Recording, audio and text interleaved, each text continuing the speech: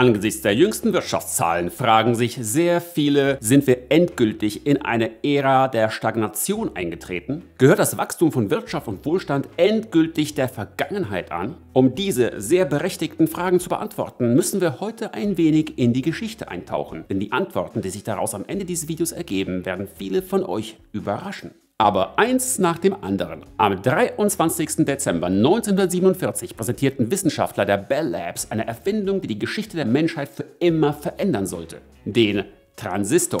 Transistoren sind elektronische Bauteile, die elektrische Ströme steuern und regeln können. Damit sind sie so etwas wie Schalter, die aber nicht manuell, sondern durch elektrische Signale aktiviert werden. Das mag euch jetzt vielleicht nicht wie eine große Sache vorkommen, nur wie eine Erfindung unter Tausenden. Aber tatsächlich haben Transistoren die Elektrotechnik revolutioniert und sind aus modernen Geräten nicht mehr wegzudenken. Lasst mich das erklären. Wie viele von euch bereits wissen, funktionieren Computer, Handys und viele andere elektronische Geräte auf der Basis von Binärcodes. Einer Sprache, die nur zwei Symbole kennt Element 1 und 0. Oder mit anderen Worten an und aus. Etwas, was man mit einem Transistor perfekt abbilden kann, da auch dieser perfekt zwei diskrete Zustände repräsentieren kann. Schalter an oder Schalter aus. Im Prinzip macht ein klassischer Computer nichts anderes. Er ist eine Maschine, die binär kodierte Symbole regelbasiert transformiert. Deshalb gilt, je mehr Transistoren ein Computer hat, desto mehr Daten im Binärcode kann er verarbeiten und desto leistungsfähiger ist er.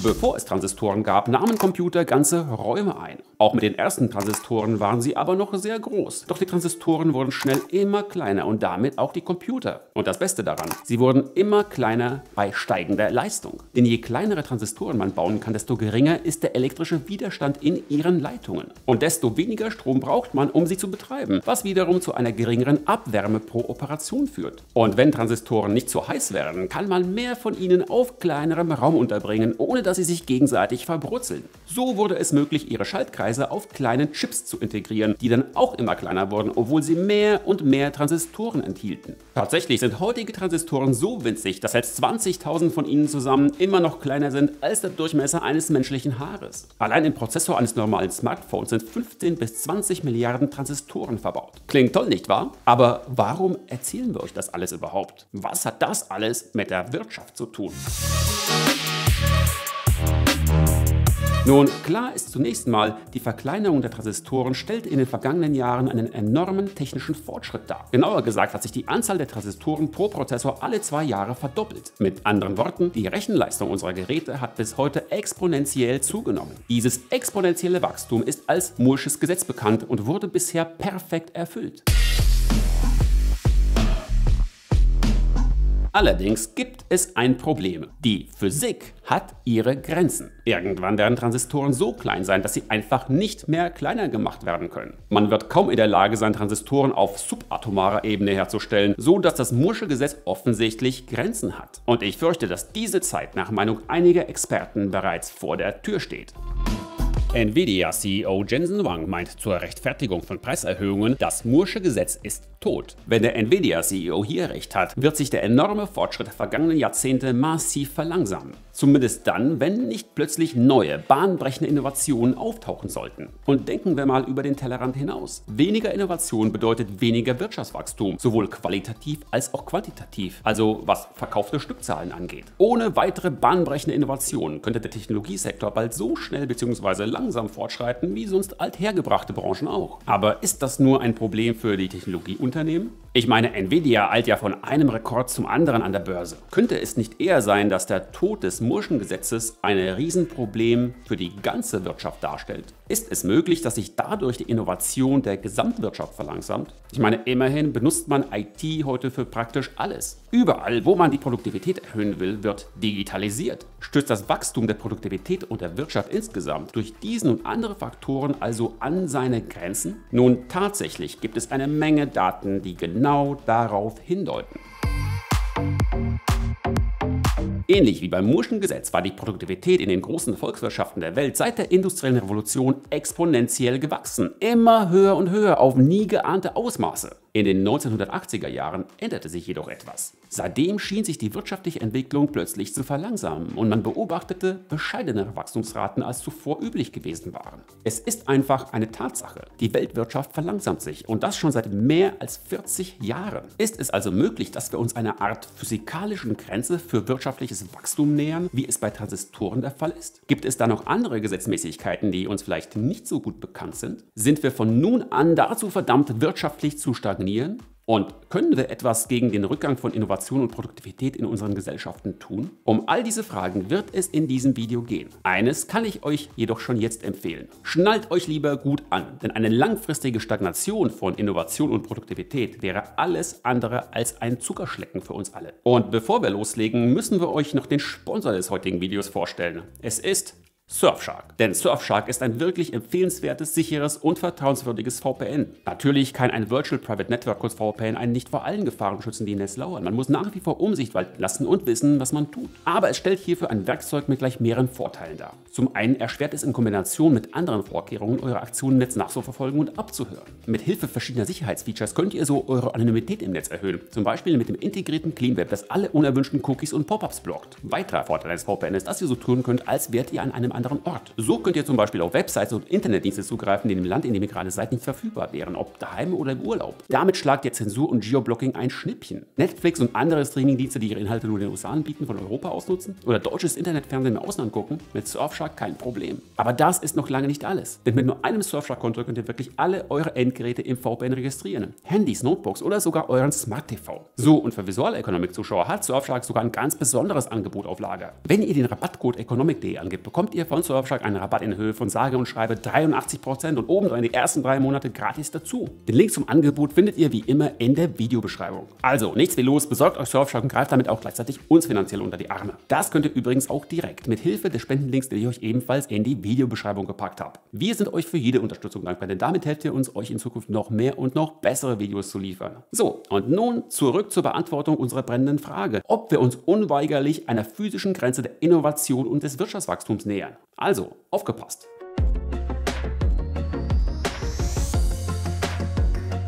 Beginnen wir mit der Frage, warum die Produktivität seit den 1980er Jahren viel langsamer als üblich gestiegen ist. Nun, es gibt dafür mehrere mögliche Erklärungen. Die erste lautet, dass uns schlicht und ergreifend die Ideen ausgehen. Es wird immer schwieriger, Neues zu entdecken und bahnbrechende Innovationen zu entwickeln. In den 70er Jahren kostete die Erfüllung des Murschen Gesetzes bei den Transistoren nur ein Fünfzehntel von dem, was sie heute kostet. Der rechnerische Fortschritt war also 15 Mal einfacher als heute und das ergibt ja auch Sinn. Um immer kleinere Transistoren Transistoren zu bauen, werden immer fortschrittlichere und aufwendigere Technologien benötigt. Aber das ist nicht nur ein technisches Problem, denn dadurch verlangsamt sich auch das Wirtschaftswachstum. Wir haben es hier mit einem festen Muster zu tun. In der Geschichte sind immer wieder bestimmte Schlüsseltechnologien aufgetreten, die einen Wirtschaftsboom einleiteten, bis ihr Potenzial wieder ausgeschöpft war. So war es zum Beispiel bei der Dampfmaschine, bei der Elektrizität und so war es auch beim Computer und beim Internet.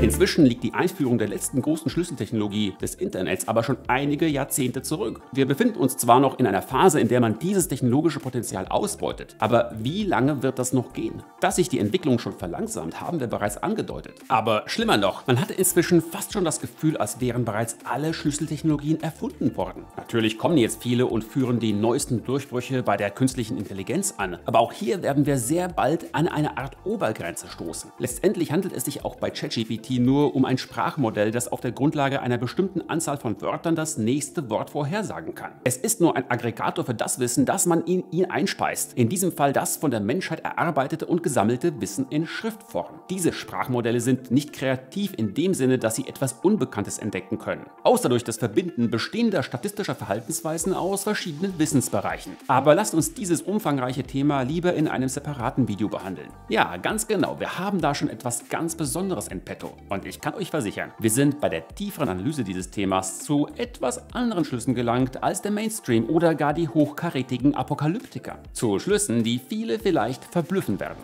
Also vergesst bitte nicht Visual Economic zu abonnieren, unbedingt mit Glöckchen, um dieses interessante Video nicht zu verpassen. Aber zurück zu unserem heutigen Thema. Gibt es also nichts wirklich Neues mehr unter der Sonne? Ist dies das Ende der Geschichte? Nun, ganz bestimmt nicht. Es gibt auch nur bedingt Gründe anzunehmen, warum es relativ schwer geworden sein sollte, Innovationen hervorzubringen. Fakt ist aber, dass wir in einem Umfeld leben, in dem sich kein neuer Umbruch abzeichnet. Warum dem so ist und welche anderen Aspekte wirtschaftlicher Stagnation wir sehen, werden wir jetzt genauer unter die Lupe nehmen. Zur Stagnation verdammt eine weitere Theorie zur wirtschaftlichen Stagnation fragt schlicht und einfach, was haben wir auch erwartet? Menschheitsgeschichtlich gesehen ist wirtschaftliche Stagnation nämlich der Normalfall. Diese Theorie besagt, dass das, was wir seit der industriellen Revolution erlebt haben, einfach eine riesige Ausnahme war. 97% ihrer Geschichte hat die Menschheit in Phasen der Stagnation bzw. solchen sehr geringen Wachstums gelebt, um nicht gar von Phasen massiver Schrumpfung zu reden. Es stimmt, dass sich die Wirtschaft zu bestimmten Zeiten und an bestimmten Orten, wie zum Beispiel im Römischen Reich, verbessert hat. Diese Verbesserungen wurden später aber durch Phasen des Niedergangs, durch Epidemien und Kriege wieder zunichte gemacht. Aus historischer Sicht ist es daher normal, dass es wirtschaftlich nicht oder nur wenig aufwärts geht. Es gibt bessere und schlechtere Zeiten, das ist klar. Im Mittel ist aber nur ein schwaches Plus mit starken Einbrüchen zwischendrin zu beobachten. Deshalb könnte die enorme wirtschaftliche Expansion, die wir in den letzten 200 Jahren erlebt haben, nur eine vorübergehende Ausnahme gewesen sein. Wenn die Welt in eine Phase des Minimalwachstums eintrete, wäre das sozusagen eine Normalisierung von zuvor außergewöhnlichen Zuständen. Und das ergibt vielleicht noch mehr Sinn, wenn wir noch ein paar weitere Faktoren berücksichtigen, wie zum Beispiel den demografischen Kollaps. Schaut euch doch einfach mal diese Grafik an.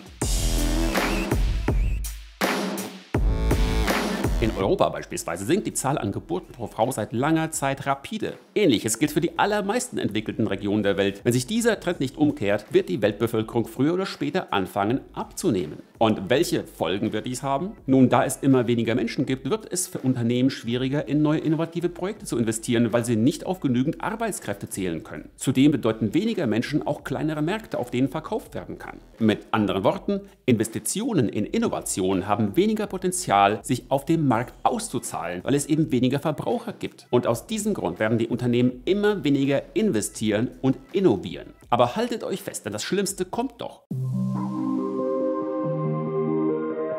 Die abnehmende Demografie bringt eine viel ältere Gesellschaft mit sich. Wir werden immer mehr Ressourcen für die Sorgen des Alters aufwenden müssen. Gesundheitsversorgung, Pflegebedürftigkeit und Sozialhilfe. Ressourcen, die nicht mehr für junge Menschen oder für Investitionen zur Förderung der wirtschaftlichen Entwicklung zur Verfügung stehen werden. Und vielleicht können wir diese Entwicklung bereits direkt spüren. Führende Ökonomen wie Charles Goodhart und Philipp Erfurt gehen davon aus, dass die Realzinsen aufgrund der demografischen Alterung um bis zu 3 Prozentpunkte steigen könnten. Und all das erklärt er Nachrichten wie diese.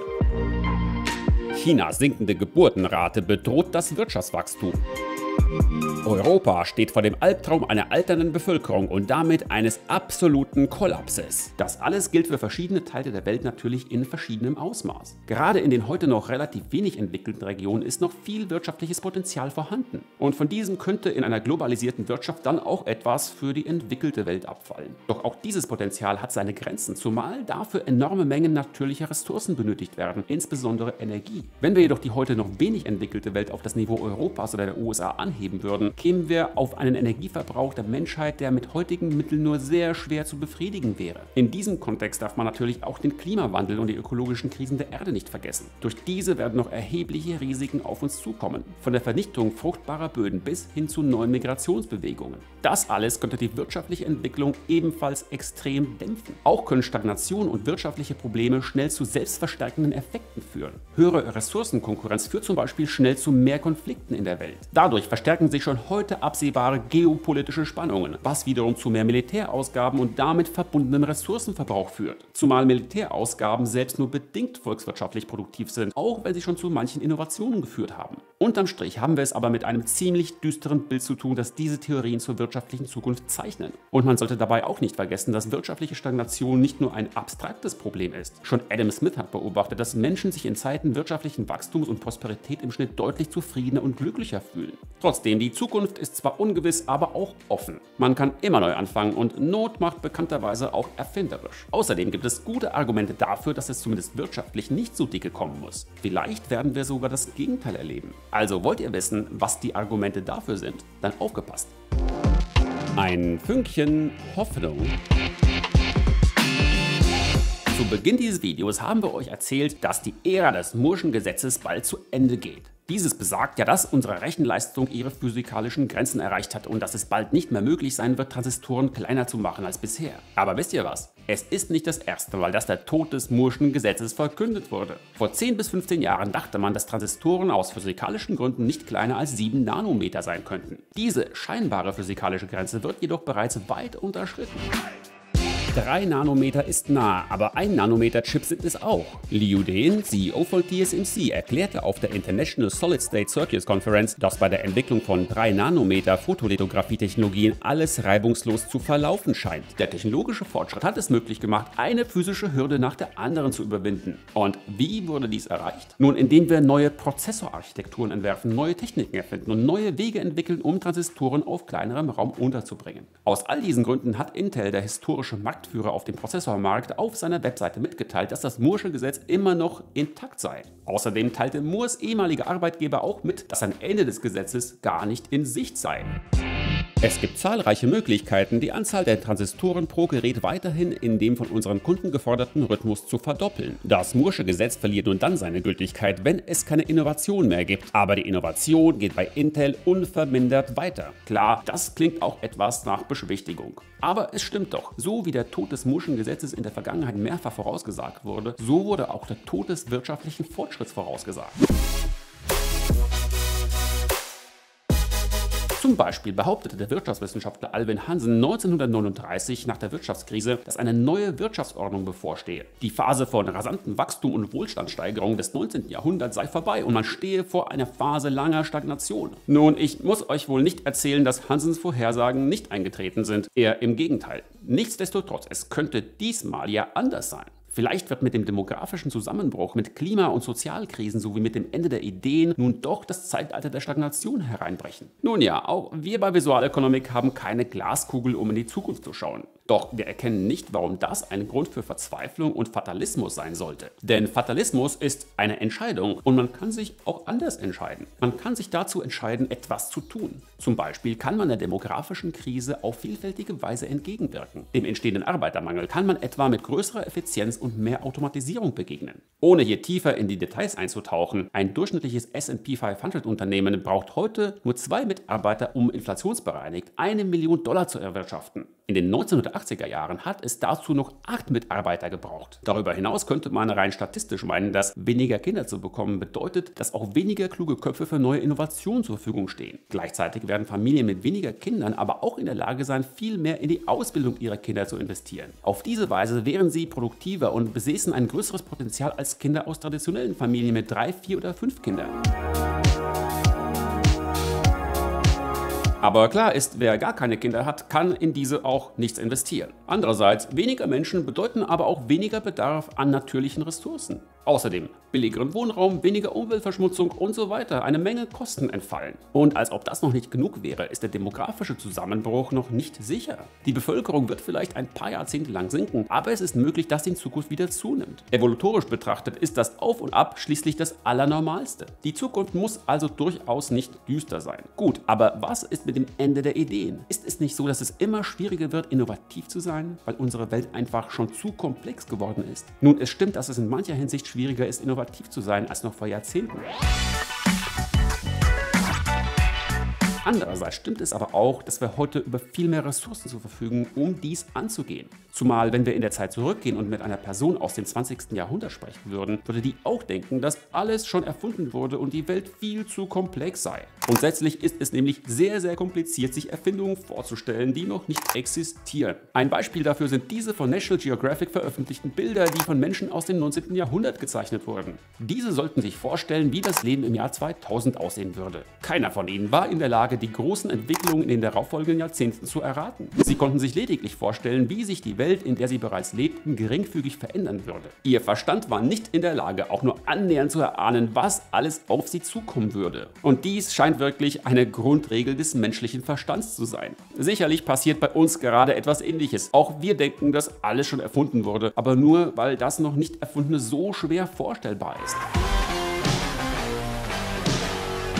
Gut, natürlich gibt es vage Prognosen für die absehbare Zukunft. Man muss sich eigentlich nur umsehen. Es gibt viele Bereiche in unserem alltäglichen Leben, in denen unsere Verfahren noch sehr ineffizient sind. Da schreit es geradezu nach Neuerungen bzw. nach der Umsetzung des bereits Erfundenen. Denkt nur an die Weise, wie wir Energie gewinnen oder Grundnahrungsmittel erzeugen. Auch im Bereich Digitalisierung und Computertechnik ist das Ende der Fahnenstange sicher noch nicht erreicht. Da ist noch einiges in der Pipeline, das für viele Überraschungen sorgen wird und unsere Produktivität steigert. Von künstlicher Intelligenz über Quantencomputer und Genmedizin bis hin zu Fernzielen wie Fusionskraft oder der Synthetisierung von Nahrungsmitteln aus der Luft. Wie ihr seht, sieht es also alles andere als nach einer Apokalypse aus. Das Wichtige ist dabei, wir sollten uns nicht ablenken lassen, weder von pessimistischen noch von überschwänglich optimistischen Theorien. Denn eine Sache ist klar, die gerade gezeigte Grafik scheint eindeutig zu sein. Das Produktivitätswachstum hat sich verlangsamt. Das ist ein Fakt. Unsere Produktivität wächst nicht mehr exponentiell, so wie es noch bis in die 1980er Jahre der Fall gewesen war. Ist das also die Bestätigung dafür, dass die pessimistischen Theorien doch richtig liegen? Oder hat diese ganze Sache vielleicht einen kleinen Haken? Nun, genau dieses Rätsel werden wir jetzt auflösen.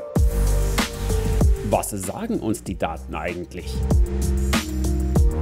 Wie beim Murschen Gesetz haben viele Wirtschaftswissenschaftler immer geglaubt, dass die Produktivität unserer modernen Gesellschaften exponentiell wachsen würde. Dieses exponentielle Wachstum ist die blaue Linie aus der letzten Grafik. Das war natürlich vor allem ein erwarteter Trend, der sich dann als falsch herausstellte. Aber nicht nur das. Im Jahr 2022 zeigte eine detaillierte Analyse, dass zu keinem Zeitpunkt nie ein exponentielles Wachstum der Produktivität vorgelegen hatte. Das Paper zeigte, dass die Produktivität linear, das heißt entlang einer geraden Linie wuchs. Eine gerade Linie aber, die zu bestimmten Zeitpunkten in der Geschichte vertikaler wurde, was zu einem schnelleren Wachstum der Volkswirtschaften führte. Diese Momente des Wandels fallen mit den großen technologischen Revolutionen der Geschichte zusammen, zum Beispiel mit der ersten und zweiten industriellen Revolution, die durch die beiden roten Linien in der Grafik dargestellt werden. Aber schauen wir uns vor diesem Hintergrund auch nochmal den Graphen der Produktivitätsveränderung an. Wie ihr seht, passt ein geradliniges Wachstumsmodell insgesamt viel besser zu den Daten als das exponentielle Wachstumsmodell. Mit anderen Worten, wir haben unseren Produktivitätsfortschritt nicht wesentlich verlangsamt. Wir befinden uns immer noch auf der geraden Trendlinie, einer Linie, die seit den 1930er Jahren mehr oder weniger stabil ist. Die Frage ist daher vielmehr, wird es in Zukunft noch einen Wachstumsschub, eine Wachstumsphase geben, eine Periode mit einer noch senkrechteren Linie?